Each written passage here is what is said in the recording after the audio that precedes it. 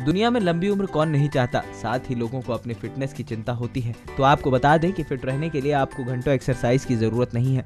बस हफ़्ते में पाँच दिन सिर्फ़ आधे घंटे की एक्सरसाइज करके आप फिट रह सकते हैं और कई तरह की बीमारियों से भी आप बच सकते हैं। आपको बता दें कि हफ़्ते में पाँच दिन हर रोज आधे घंटे की एक्सरसाइज करने से हृदय रोग और जल्द मौत के खतरे को भी कम किया जा सकता है। शोध के मुताबिक अगर सभी लोग सप्ताह में पाँच दिन हर रोज सिर्फ़ तीस मिनट व्यायाम करें या किसी भी तरह की शारीरिक गतिविधि करें तो दुनिया भर में मौत के बारह मामलों में से एक को रोका जा सकता है। सोचिए, इतने बड़े आंकड़ों में इसका प्रभाव पड़ता है, साथ ही हृदय रोग होने से 20 मामलों में से एक की आशंका को टाला जा सकता है।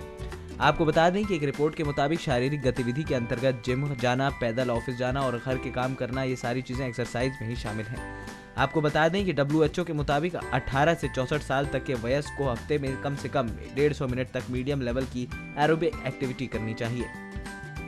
नेक्स्ट नाइन न्यूज़ भोजपुरिया की रिपोर्ट।